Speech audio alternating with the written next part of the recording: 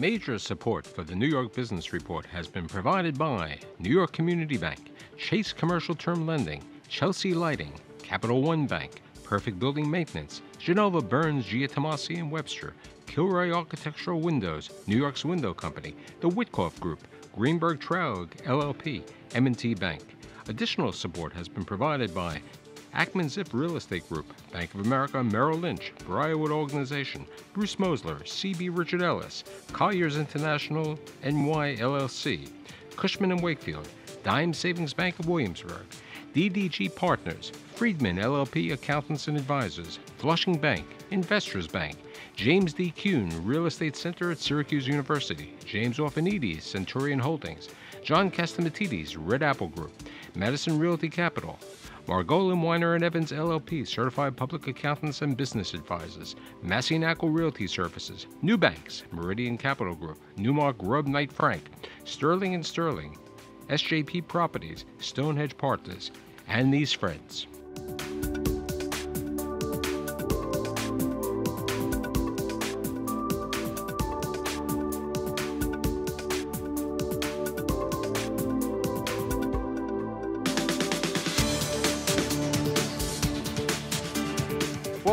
New York Business Report. My name is Michael Stoler. The Lower East Side, a place where immigrants came, the place where people were there in the early 1900s. Today, companies still survive, and some companies even have third, fourth, and fifth generation over there. So today, I've assembled these three individuals who are continuing their business in the Lower East Side. My guest include Niki Russ Federman, who is with Russ and Daughters. We don't have any appetizing, but we have Niki over here today.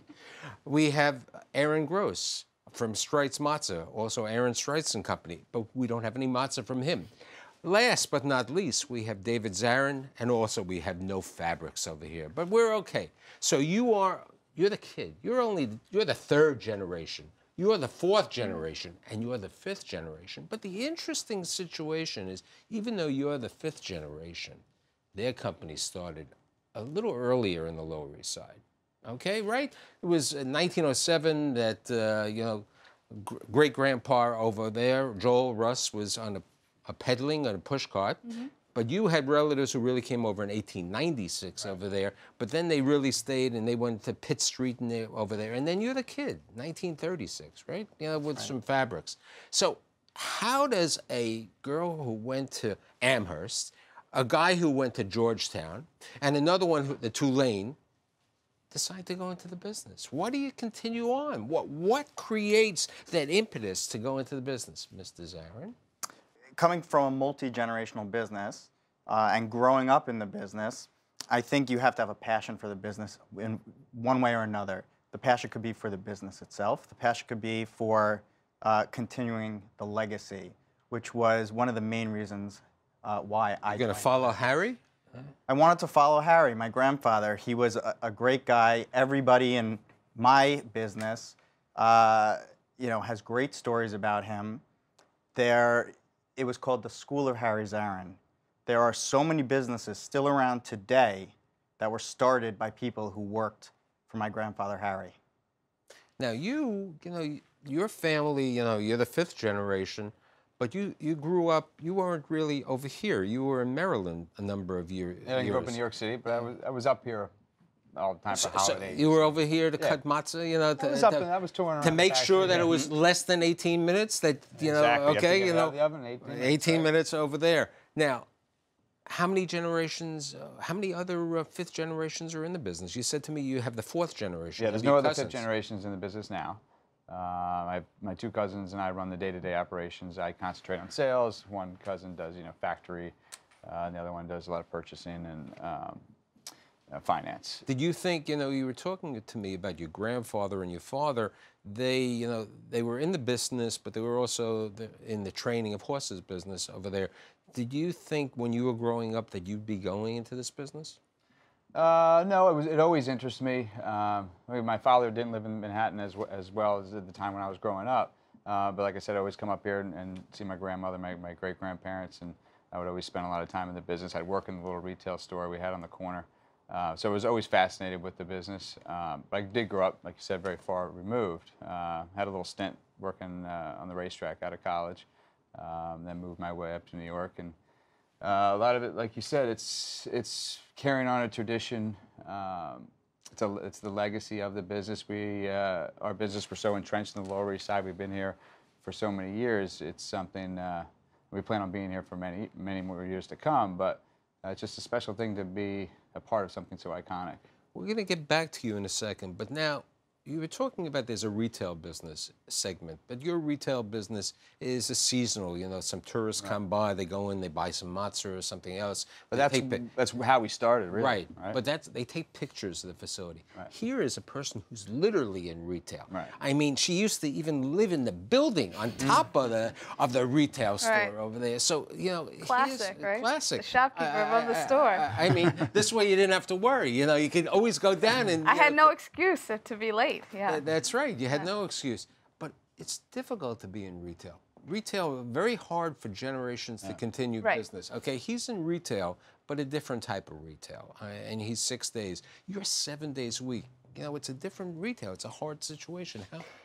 you know, retail is it is hard, but I think that what um, the space of Russ and Daughters, the fact that we've been on the Lower East Side this in for a hundred years, and that people come there not not just to buy their smoked salmon and herring and caviar and babka, but because there is that physical space, there is the retail space where they can have an experience um, that uh, connects them to their own life history. You know, whether it's because their grandparents grandparents used to come to Russ and Daughters, or because they used to live in New York years ago and now they're just a visitor.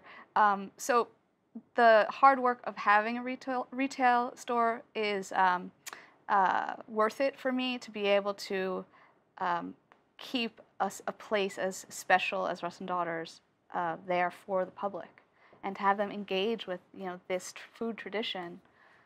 But you have people who, who aren't, you know, I mean, I, I was watching a video when I was doing some research on the show. Some lady from London who was doing, uh, who was involved with the Bowery Hotel, and she was talking about the schmear and all the rest going over there. I mean, you, you know, Russ and Daughters, you know, especially with PBS and other situations, you, you know, there's a history the same way with Streit's and the same way with Zarin. So you've got there, there's people come there not only because they're relatives or something else, but you're also a different type of institution. At one time, they were appetizing stores all over. How many appetizing stores are today? You can count them on one hand. You know, Russ. And, I mean, that's another reason why it's such a pilgrimage place now because, um, like you said, the Lower East Side alone used to have 30 appetizing stores. Um, today, we're one of the last uh, of our kind, and um, it's appetizing is one of New York's most original food traditions. And as people become more aware of that, they want to come and they want to have a real New York experience and eat kind of classic New York food. In a similar manner, you know, matzahs, and you very, I, I tell the story about the great grandparents because there are, there were a couple of kosher companies, uh, Manischewitz, Goodman. Tell me about what you told me before about the relatives, your great I was telling you about my grandfather, Aaron Yeah. Gross, who, I, who I'm named for. He had uh, five brothers, and uh, he was the youngest of five. And his older brothers, one of them married B. Manischewitz, who was owned, owned Manischewitz, of course, and the other one married uh, Horowitz, a girl from Horowitz. So we had three matzah companies. Yeah, so when he came home with Muriel Straight, you know, his parents were like, "Ah, there's no way you're just messing with this, But yeah, that was my. So, so at the at the at the Passover Seder, there would be three boxes of matzah. they always had to have them all out there. Yes. and you, and basically they kept in the boxes as opposed to being the table, so they could. So see. you had to show that. Yeah, They yeah. said that everyone else. Okay, here here's the question: How do you grow this business to the sixth generation? How do you grow this to the fifth? You have that one-year-old, you know, over there. You know, he's he's going to learn. Okay, I can see She, him. she, she Russ and okay, daughters. Russ- I had to have a daughter. very well done. Wait a second, your cousin, you, you know, your cousin, Oh, the yeah. engineers over there in the business. And how do you? You have two kids, so you know, they, how do you get them over there? How do you? How do you build in this feeling that they should grow and they should feel this this heritage that you, all three of you, seem to have about your business? Uh, we, I mean, we like growth, of course. Every, every business does, but we try to really um, concentrate on our roots and just continue to make a good quality product. I think there's things that set us apart. There's an authenticity about the three of us, basically. You know, we're still where we began on the Lower East Side. We're still family owned, family run. Uh, we make things very, the old- we're very old fashioned, very antiquated in the way we uh, manufacture matzah. From there's three, I think there's three things that set us apart. The New York City water. Everybody talks about the bagel, the pizza. It's better in New York City. Probably has something to do with the water. Uh, we have a very old-fashioned way of actually sheeting the dough. Uh, overlap the dough eight times, four times each direction. And we have a very old-fashioned uh, oven, a convection oven that it kind of rolls through. We have two, two of them, one on the third floor, one on the first floor. Uh, and then everything's done by hand when it comes out of the oven. So it's a very labor-intensive, antiquated, antiquated way to do to actually manufacture this product. Um, but I think it gives it a quality and authenticity that can't be uh, recreated in a new facility. Plus, Passover is a tradition, tradition-based holiday. We can actually give you the same matzah you had 50 years ago. Right, but you had on but you know what? Your business, even though it's Passover, it's a 12, 12 month course, year of of course. business. The same thing. How do how do you now? Even though you're years ago, you know, when your father went into the business, when your uh, father and your uncles were in the business, and your your, your dad, the neighborhood was a little rustic. That was a nice way to say things about it. You know, they were, uh, you know, you'd walk down, there may have been some drugs on the corner, needles and other situation. Now you're in a gentrified neighborhood. You know, you've spent time, you were in the real estate business, you're still in the real estate business. Can, what happens if the neighborhood says, you know, we don't need any more. You know, there's no no need for three fabric stores over there. I mean, you know, like 30 appetizing stores. You know, you get priced out. I mean, you own your building, you own your property, you're a tenant over there. Can Zarin Fabrics grow to the fourth generation by being in the D&D building or being, you know, somewhere else? So um, Zarin Fabrics is a destination. We have a, a big warehouse. We are known for being on the Lower East Side for decades. Um, we have uh, a staff that is highly knowledgeable. Average uh, Longevity. longevity, thank you, of my staff is about 20 years. Um, we offer great service, like my, my grandfather Harry, uh, that was a, a main point of his to offer great service at a time. But wait, you can still when- offer that service when- if you're at the D&D building. That's right. So, so this is my point. My point is, uh, we could continue doing that and we could sustain ourselves, but uh, the market has changed a lot. Back up until the 90s, every store in Grand Street was a store like mine, very similar. Uh, now, not so much.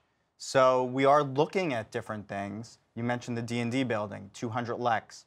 Uh, I think there is uh, opportunities for us there um, to offer some of our custom services while still maintaining a, uh, a foothold on the Lower East Side with our fabric warehouse, which is what we're so well known for. Now, people go, you know, people still, you know, all generations, you know, because you're in your 30s, but people in their 30s, 40s, 20s f- go down to Lower East Side and they want to get fabrics, and some of them want to get matzah.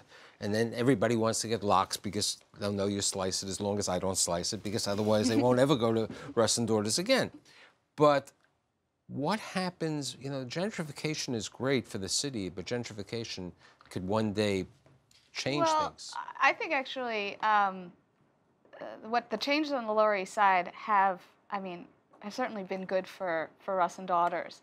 Why? Well, you know, in the 70s and 80s, uh, we didn't have a local base of customers. Our customers had to come make uh, take a trip to Russ and Daughters from Uptown or Long Island. Um, now we have locals who come in, you know, in the morning and get their their bagel and their coffee on the way on their way to work. Um, so, and the, the other reason that the changes have been good is maybe in a way that people haven't thought about, and it's sort of bittersweet because the the more that the neighborhood um, uh, loses, you know, every time a, a classic tenement building comes down and maybe a glass new building goes up, or you know, we lose a small business to a large chain that comes in. Places like Russ and Daughters or Streit's or Zarins become that much more meaningful uh, to people because there are just fewer uh, unique, characteristically New York places to go to, um, and people are searching for that. And so, you know, it's kind of um, uh, it's helped us, but it, in a way, there's something. It, it's come at a cost. But couldn't we, you know, in the same manner, couldn't we see?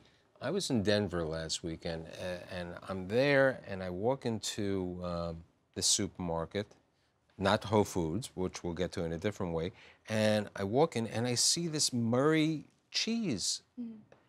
Okay, I know Murray cheese. You know, it's from New York and over there. Couldn't I see a Russ and Daughters in in a supermarket? You know, um, in a in a different place? Okay. and we get asked. Um, Couldn't I see a Zarin, you know, in uh, in a boutique of a Gracious Homes or a boutique of a Bed Bath and Beyond, or like you know what J.C. Penney is doing today, creating boutiques within their store, you know, with Levi Strauss over there. Look, we can also have the matzah over there, you know, s- a certain section of Whole Foods, you know, if it's organic. Okay, we have to have organic matzah over here. We have it. and and we, uh, for I mean, I certainly get pitched these ideas on a daily basis. You know, come uptown, move to, you know, open up in LA. Uh, the idea you mentioned. Um, I mean, I even have someone the other day wanted wants to open wants me to open Russ and Daughters in the mountains of Switzerland. So if you know. I think for me, what's fascinating about running this business is that I am always sort of tempering growth with whole, with maintaining the integrity of tradition and maintaining an authentic experience, and and so, you know, uh, I think that really informs and sort of shapes my um, view of how I want to grow the business. Because if I just wanted to have a hundred Russ and Daughters by now, I, I, you know, we could have done that. But it's, you know, we feel very strongly that the the integrity of what we do, a lot of it has to come from the fact that um, it's uh, it's unique. And once you try to replicate yourself endlessly, you you know you lose you lose something yeah, there. all three of you also have another uh, situation besides generations. All of you are involved with the Lower East Side bid, the business development improvement. You really feel close to that. I think you're an officer. I think you're, Yes. you're all officers over there. How do you? Why do you get involved with the bid? Why do you think the bid is valuable for the community? The reason I'm involved with the bid is because I want to better the neighborhood. And I think, especially over the last five years, we've done a fabulous job. The Lower East Side had become known for its nightlife. It had a lot of bars, a lot of restaurants. A lot of people from all over the city were coming to Lower East Side to enjoy those establishments. But there wasn't a lot of daytime foot traffic, which is something that all of us need to help out our businesses. And that's why I got involved. And we've done a lot. We've cleaned up the area. Orchard Street, as many people know, uh, was closed on Sundays. It still is closed on Sundays, but it wasn't the same. It used to be a bustling area of commerce, and it became pathetic You mean close to cars? close to cars. Close. Thank you. Close to cars. And um, we decided to have an event there. We called it Day Life, as opposed to Nightlife, and it was a huge success. It's something that the city is now going to use as a model for all of its fairs going forward across the city. Uh, we had badminton, we had croquet, we had all of the great merchants. I think uh, Niki Daughters. was there uh, with Russ and Daughters. And this is something that we're going to continue doing from April through October, uh, one, one day a month. And um, it's kind of like the urban backyard of the Lower East Side. I'm I'm involved uh, because I my family's had a, a vested interest in the on the Lower East Side for hundred years. We were there, you know, uh, through the Depression, the wars, uh, you know, Look, recession, every and relative, So, you know, everybody who got married, the, the, the, the uncles had to go into the business. That was part of the deal, right? That's right. And so, you know, I wanted to see that the Lower East Side develops it, and, and and also stay. Which one? The Lower East Side is one of the most historically rich neighborhoods in our country, and so it's very exciting to have this mix of businesses and young people and nightlife, and but also to maintain uh, the integrity of uh, of our, our own history. Um, so it's it, for me, it's fascinating to just be connected to the political side of it, the business side, the, hear what the residents have to say. So he, here's a question: What happened? One of the biggest problems. I have a, a dear friend who takes care of next generation planning. it's very difficult to plan to, to, to, to grow that next generation, the transition. How was it to transition from your father, okay, who's the second generation, your fifth generation, and how hard is it, you know, especially when the, the family is alive and they're looking at you and they're saying to you, maybe you know this is how you should run the business or something like that. How, how do you see that? I mean your dad's still active not in the business you know he has a book coming out. Right. hopefully we'll have him on my show my building show to talk about his book. But how how how difficult was it? And then you had a cousin who came out of here from engineering you know making little transistors you know. Now he has to cut lox and smoke fish okay? Um, I mean, it's. I don't think it's ever easy. Um, I think what enables a family business to go to the next generation is when the the the next generation chooses to take that business on. Um, and for me, that it's also a moment a question of timing. Uh, at one point, my father was ready to pass it on to me, and I wasn't ready. Um, so I needed a few more years to go and do other things professionally, know what know all the different paths my life could have taken um, to then be able to say, "Uh, yes, I want to come on board, and Russ and Daughters is what I want to do. Um, and then, you know, there is when we actually got into the nitty gritty of succession planning, it's it is challenging because you're it's um, you're dealing with uh, not just a business. It's not a, just a business. It's a it's you know your life work. It's your your identity. Um, and uh, but, but luckily we I think are in a great spot because my cousin and I now own and run the business, but uh, my father and my mother, who was involved, um, are still here, and we can go to them with questions. They have a historical perspective. but you own the business and you're running the business Yes. and that's the decision what Yes. about your business Uh, like, like you said, it is difficult to you know go from generation to generation. Um, I did it uh, very ground up way. I worked every in every spot in this factory. I worked uh, in the warehouse out in Jersey. Uh, worked my way up. Uh, worked with the sales manager we had at the time, um, and now I run the sales and marketing. Uh, but the, yeah, you were speaking to the elder generation, and you know they get stuck in their ways, and they, don't want things to change. But we actually we have we're very active in our shareholder meetings, our board meetings, bringing in you know my grandmother used to go, my my great aunt. But what about your cousins? Are they in the business or are they yeah? But I have two cousins that are very active. I mean, I just do the sales side. They do have, they do other aspects of the company, so they're all all three very active uh, in the business, and, and we get along well. They're they're a separate generation. It's not really. Uh, Now, what's happened in your business, you know, Manischewitz was acquired by a conglomerate. A number of these companies are acquired by a conglomerate, you know, or take in your business, you can follow the Fairway situation that you take one store and you get a private equity fund and they increase it over here. And it could be the same way, especially, you know, because you went to uh, NYU for your master's, you might want to grow over there. Uh, how how do you look at those things for the next generation, or is that a a growth plan? Do you think we could see more Zarins around the country the same way that we spoke about that? Can we have baking of matzah? Doesn't you know there are big communities, Jewish communities all around. We can have one in Los Angeles, you know, we could have one in Miami, you know, but that's you know, there are different things. uh, with my business, I don't think you're going to see more Zarin fabrics uh, as far as what we're known for, our fabric warehouse, where we have thousands of bolts of fabric on racks, on display. It's a, it's a very inventory intensive business. Can I have a little swatch? You know, I don't need. Uh, Well, you I think, uh, Sure, give me a little piece of lox. You know, I'll take a swatch the same way. Next time I'll bring you a swatch. Okay. But um, I think branding is probably the way to go if we're going to uh, expand and grow out of the New York City area. Um, you know, I was talking with with Cary Kravet, who owns Kravet Fabrics, one of the, the largest and most well-known companies, and he's done a great job with that business. Uh, if we grow, I think it would have to be something similar to what the Kravets did, as far as putting together uh, lines of fabric, branding it Zarin, and selling it through showrooms across the country. You? we're gonna stay where we are. We're, gonna have one matzah factory. One, but wait, but, all- but but you know we were talking before. Now you know everybody wants gluten free. It's difficult to get the gluten, but you got spats, you know, and then you sell macaroons, and then you sell spices. We You know, have we have expanded. The matzah, the matzah derivatives are all out of its original factory downtown.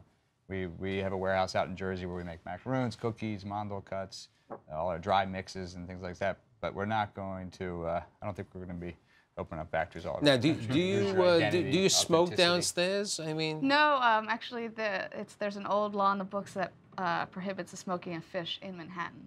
Ah. Um, but the, we're Russ and Daughters is actually going to be uh, expanding um, in uh, in a very local, hyper local way. We are um, going to be opening a couple new businesses on the Lower East Side. what type of business? Uh, we're opening. We're going to be opening um, our own bagel operation. So we're we're going to have a, a a bagel factory that's going to be on view for people to come and watch, and bring back the real artisanal craft of making bagels. And we're also going to have a cafe. The water. It's the water. It's the water, I know, He that's- knows it's the water. They So- can't. That's the way. Um, and we're gonna have a Russ and Daughters cafe, so people can actually come and have Russ and Daughters in, in a sit-down uh, manner. So even though our retail store is very small, our, we're gonna be branching out in the neighborhood.